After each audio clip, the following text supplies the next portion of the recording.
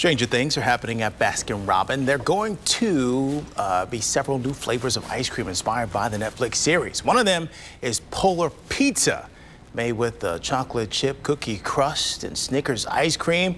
As you see here, it even uses M&Ms to make it look like Christmas lights. Mm -hmm. You know, the ones that Joyce used. Mm -hmm. Stranger Things 3 premieres July 4th.